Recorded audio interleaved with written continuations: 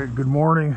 It's like quarter to four and we got some snow. I say we got a uh, solid five inches, maybe six inches of snow. It's light powdery snow. It's not heavy snow, but we're gonna run up and uh, start pushing it around.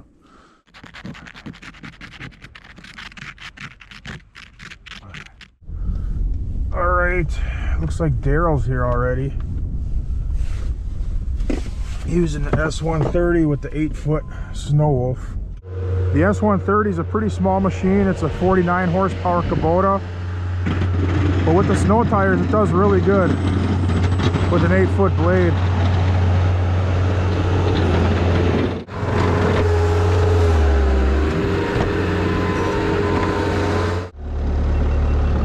Are here so early? Because there was a mouse in the house. So you left because there was a mouse in your house? Yeah. That doesn't make sense. I don't like rats. I don't like mice. Oh, okay. Did you do the whole back parking lot already? This whole, I did this whole entrance, this part, that part, not the whole back, but just this half over here. All right. Just do all the drives and then go around all the way around and do that building over there while you're at it. And then you got to switch plows and do all the city sidewalks. All right. I gotta leave by six, so Huh? I gotta leave by six, six thirty, because my daughter has court at eight thirty. Well, you better hurry up then. I'm hurrying. So the reason Daryl's in the small machine is because this machine is having problems. It keeps blowing fuses and then the whole machine shuts down. It's got a bare wire, loose ground, something wrong with the computer, something electrical. So it'll start up right now, but it'll die. I'm gonna try to run it. That's why you always have to have backup equipment because it's guaranteed when you're snow plowing, equipment is to break, stuff's to break. So you better have backup equipment or you will be in big trouble. Or have good friends with plow trucks. You want to start, then you can start it. It'll start up now. It's running already. Oh, it. Yeah, but thanks for the idea. Yeah. Yeah.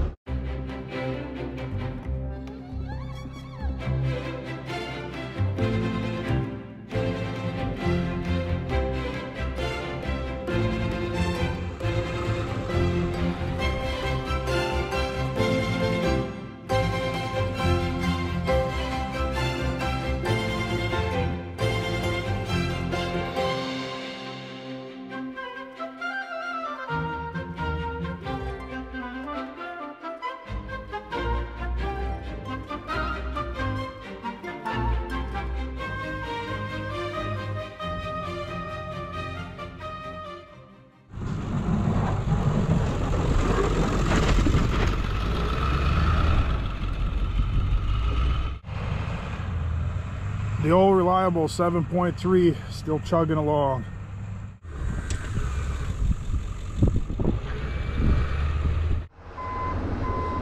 Daryl's got a little bit to go over there. And then we'll see if this thing stays lit or not.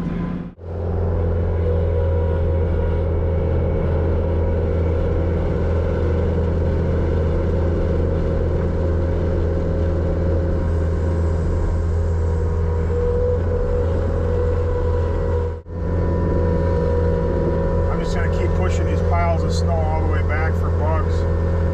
Since I have wings on my plow and I can contain it a little bit better, a lot better I should say. Plus this is 12 feet with the wings. It's a good sized plow.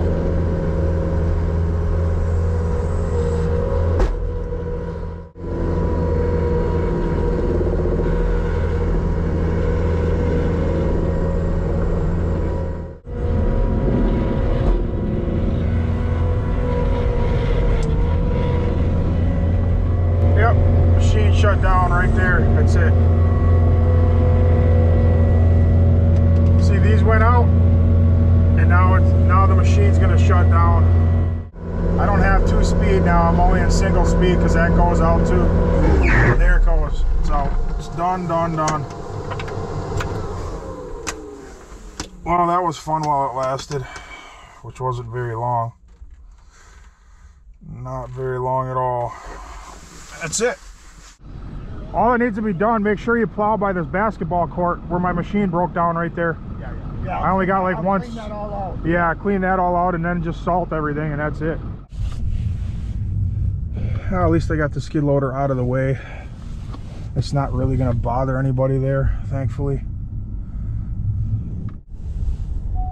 We got a bunch of driveways that we do too. Driveways are just so fast and easy with the skid loader. I know I timed one earlier this year and it was uh I don't remember. It was about a minute.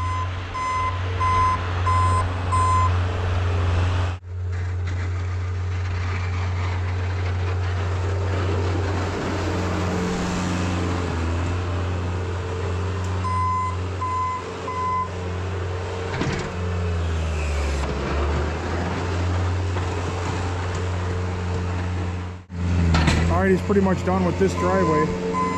Just got to clean up this little bit here. That's it. Easy. Very easy.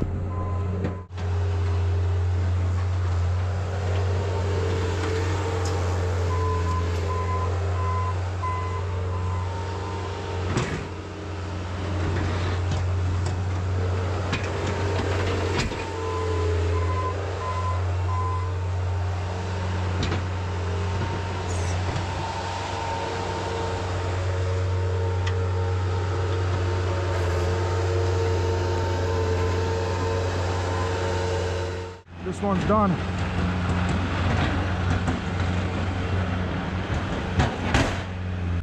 If would stop hitting the curves, that would be nice, but it's done. And here we go again. Boom. Stop it, Daryl. Thank you. Daryl makes me nervous. He's right next to that brand new car.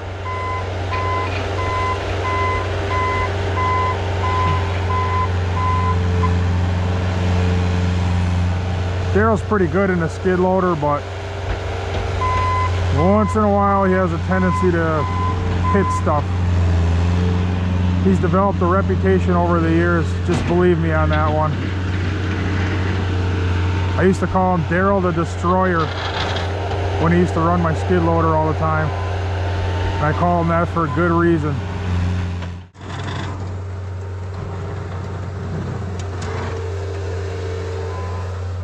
Ah, it makes me nervous with all these cars. Really, really, really nervous.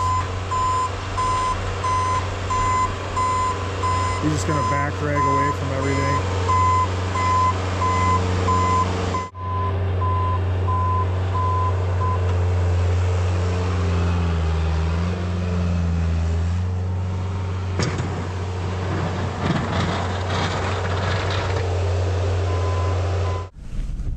Daryl just cleared these five driveways right here and that was like i don't know probably between seven and eight minutes something like that.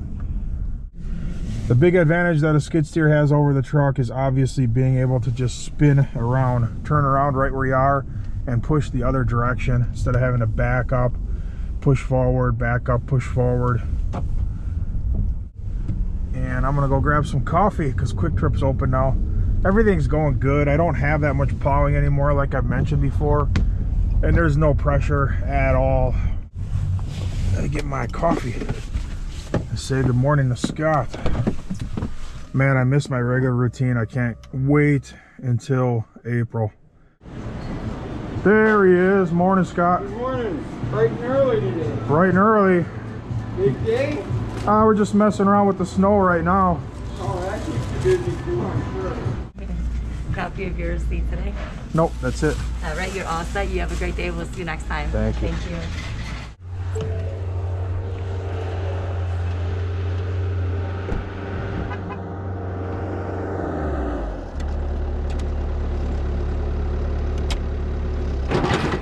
Ooh, watch your toes. Oh, thank you. You remember which it is? Yep. All right, I'll meet you over there. Go ahead.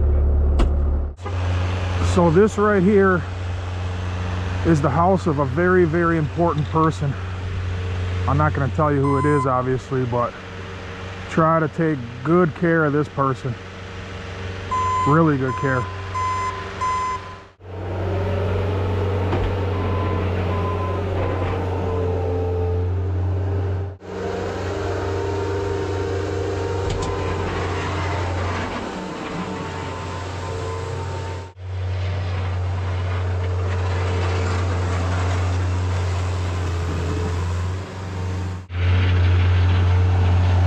See how that front wheel's off the ground like that?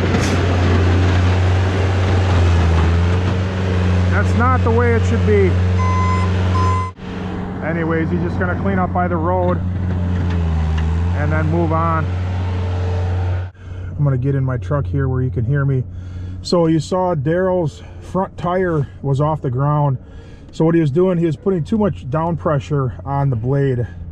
And when you lift that front wheel off the ground, uh, there's two negatives. Obviously, uh, you're only getting traction from the back tires and you're wearing out the blade a lot faster than it needs to be. So when you plow, all four tires should be on the ground at all times. You should have just enough pressure on the blade where you're getting a good scrape, but your front tires remain uh, in contact with the pavement. All right, Daryl's gonna plow this lot here.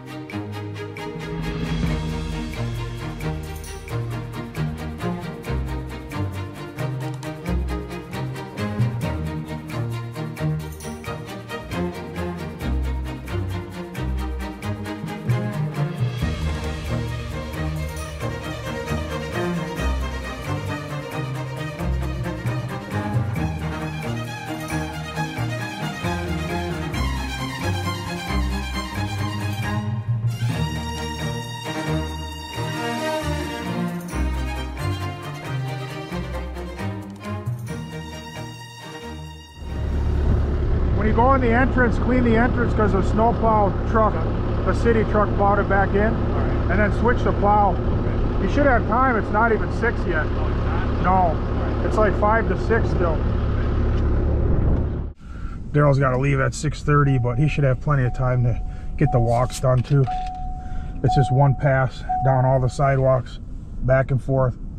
All right, we're gonna take off the eight foot blade and put the five foot blade on for the city sidewalks.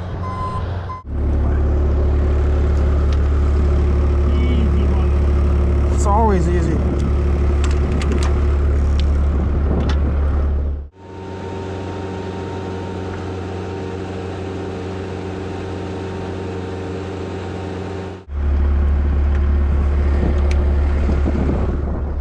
All right.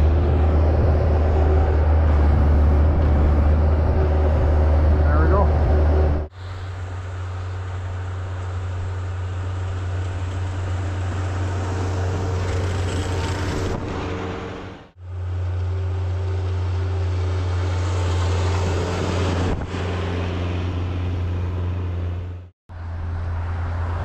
Daryl's gonna hit something right here, watch. Right about here. Oh, he missed it. Maybe he'll get it now. Boom! I knew he would get it. I always get stuck right there. There's a little water cap or something right there.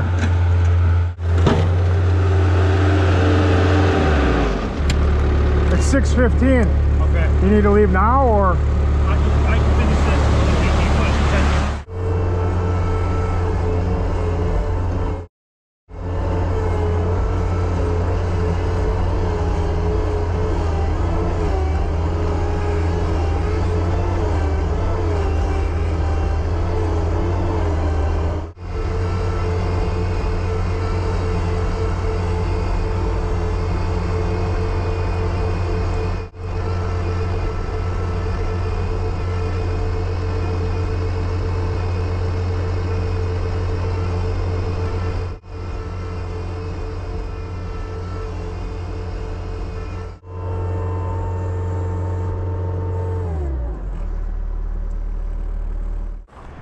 And just a note to anybody that does shoveling work, when you shovel the sidewalks and you see that the parking lot has already been plowed, don't shovel your snow onto the parking lot. It's just a little tip. All right, so I'm just waiting for Daryl to get back so I can say goodbye to him. Bugs is salting, and then we're out of here. It's a nice morning. It's about 10 degrees. It's cold, not windy, so definitely tolerable.